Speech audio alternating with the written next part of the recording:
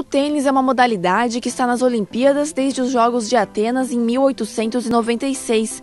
Até 1900, o esporte era apenas disputado por homens. Foi neste mesmo ano, nas Olimpíadas de Paris, que as mulheres também conseguiram seu espaço.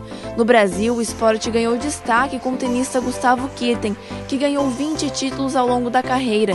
Além disso, ele permaneceu como número 1 um do mundo por 43 semanas.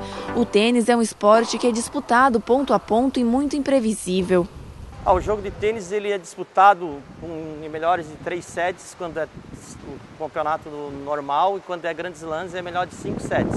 E a contagem do, do tênis ela é feita através de saque. O primeiro saque quando tem essas duas partes aqui, ó, esses dois quadrados, que é o lado direito de lá e o lado esquerdo aqui, então começa em zero lá.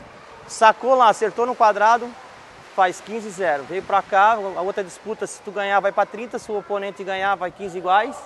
Tu, nós temos que se chamam dois serviços. O primeiro serviço, se acertar, segue.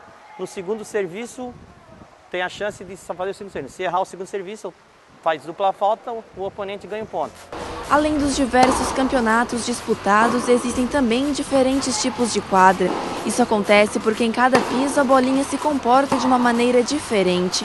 Em uns, como no saibro, a bolinha quica mais devagar, enquanto na grama, por exemplo, ela ganha mais velocidade. Nós temos pisos, que aqui está vendo aqui a nossa quadra aqui em Tubarão e a maior parte do Brasil é tudo de saibro. E a disputa tem saibro, tem grama, que foi o Wimbledon agora, tem a, as quadras de cimento, que é a Lisondas, tem campeonatos que é feito indoor também, que tem carpete, tem um monte de tipo de, de piso, mas o piso mais usado é o saibro.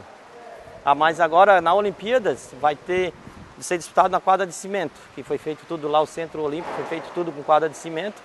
O tênis é uma modalidade que pode ser disputada tanto em dupla quanto individualmente. Nestas Olimpíadas, as maiores chances do Brasil são as provas em dupla.